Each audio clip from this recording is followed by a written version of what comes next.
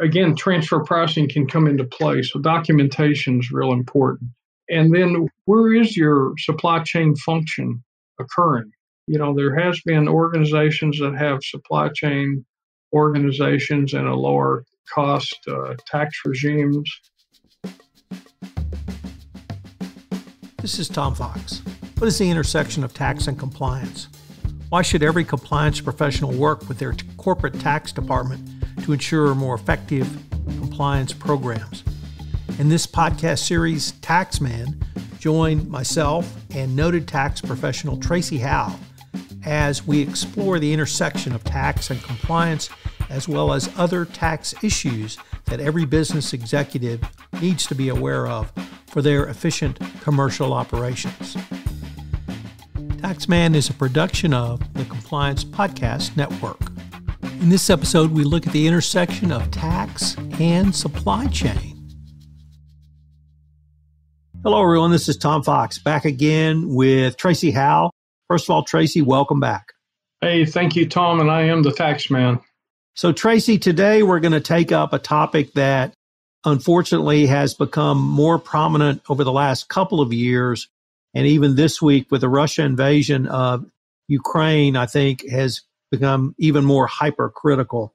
And that's tax and supply chain. One of the things we saw in the pandemic was many companies with long established supply chains, perhaps not single source suppliers, but close to single source suppliers, really found themselves scrambling when huge swaths of the world were shut down because of COVID 19, certainly before the vaccines became available.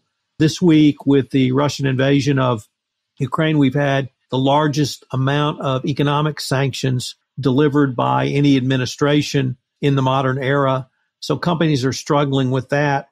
And it really brings up this topic that you and I both want to talk about, which is the role of tax and supply chain. And I'm going to expand that to compliance because compliance also has a huge role in the supply chain.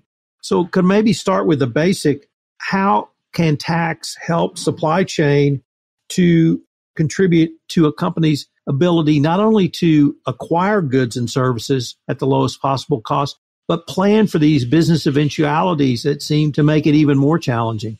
Hey, thanks, Tom. And it, and it truly is a, a critical issue. Supply chain for an organization, especially an organization that manufactures, is and then a substantial delivery of materials and services you know, there's such a critical component in the acquisition of goods that are either consumed or provided in the delivery of services or just manufactured. And if you think of supply chains, the traditional focus is just on the acquisition of goods, which would be the quality of the goods and the cost of the goods, and then the delivery of the goods for consumption or later sale. But in each one of those steps, Tom, there can be a substantial tax component in each one of those steps of acquisition costs, which would include some, if you're buying goods in foreign jurisdictions, there can be transaction taxes such as GST or VAT. And then there are terms and conditions that can be incorporated to mitigate those with who's the purchaser where's the title transferring? And Tom, you and I have worked on that. Title transfer. Where does the buyer accept title? Tom, I'll use an example. If a company's buying raw materials in a third country, and the shipping terms would normally say title transfers international waters, you know, that's a good thing for the buyer because that means if I'm buying something in the Russian Federation, for instance, if I take title on international waters, that's a good thing because it shouldn't trigger any transaction taxes. However, if you're not paying attention and supply chain acquires goods from the Russian Federation and takes title within the territory of the Russian Federation, guess what? That could trigger a VAT liability of 15 to 20 percent. So if the supply chain's not interacting or they haven't don't have a relationship with tax and tax isn't in the game, that can add a, a 15, 20% component to cost of goods transaction. Really affects the company's cost of goods sold, Tom. Tracy, could that same type of analysis or even rigor help a company plan for disruptions in the supply chain? So, for instance, if supply chain looks for alternative suppliers or perhaps they even go to an alternative region of the world, can TAC step in and, and do an analysis that would at least give them an estimate of what the costs are going to be so there's none of these 10 to 15%, even 20% surprises on the back end in addition to the disruption of your physical supply chain?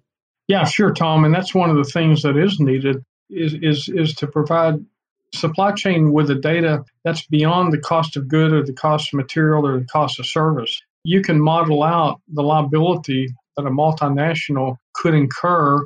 Say they have five different possible sources for goods and materials. You can model that out what the tax additional tax burden would be in each one of those. And Tom even talk about a proactive tax jurisdiction, tax provider, a good tax man. There are instances where if you've got two or three different sources, you can go, a good tax guy can possibly check to see if there's any tax incentives that either exist or that they can go negotiate. You know, some commodity type products, you can negotiate some tax incentives. So need to be modeled out, Tom, like you said, and, and provide that for a very good decision on procurement of goods. Tracy, how does a constant interaction between tax and supply chain help mitigate the risk of emission creep and the tax implications and attendant penalties plus taxes that can occur? Once a relationship is formed between supply chain and tax, that's a good thing. You have established a relationship and it's understood how tax can assist supply chain in the procurement of goods and services. And at the same time, at that time, you need to document the process, document the process and provide a framework for an organization. That's something that's created at a given point in time. And creative people are going to expand their roles. They're going to be looking for goods and services in different locations. So you can have a mission creep. And so it's important for tax to have that relationship with supply chain. So as their functionality changes or they're acquiring new goods in different locations they need to be close and document the changes and update the changes. New issues come to play new tax issues can come to play if you've changed your sourcing of materials and goods. Different different challenges and different jurisdictions so mission creep can occur just by attrition. Time goes on, people are focused on different things. You forget to interact, and, and so you can get out of bounds and impact the company by not keeping fresh in the relationship and documenting the processes, Tom. I wanted to end by asking you what do you see as the elements for a tax efficient supply chain management if you were going to sit down with uh, the supply chain folks? Some of the things that you could have a, a top notch supply chain. Tom, there's certain circumstances in where you might have a special purpose entity. You might call it a supply chain entity whose sole purpose is supply chain. There's other opportunities to look at the entire scope and what you're doing and what you're selling, where you're manufacturing, what you're selling, and you can create some tax opportunities and bring value based on special purpose entities. The other thing, Tom, that brings value with transfer pricing is coordination of the transactions in a supply chain with transfer pricing. In a previous segment, we talked a little bit about transfer pricing, and procurement of goods can have a real impact, and documentation of transfer pricing can have a real impact and help the organization as originating from the supply chain. Another thing is is the compliance with the tax laws and regulations.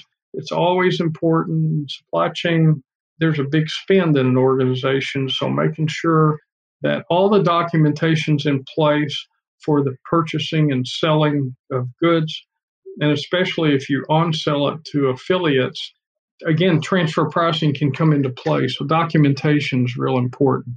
And then where is your supply chain function occurring? You know, there has been organizations that have supply chain organizations and a lower cost uh, tax regimes. You know, if you have a supply function, supply chain function in Ireland, for instance, which is a lower a lower tax regime.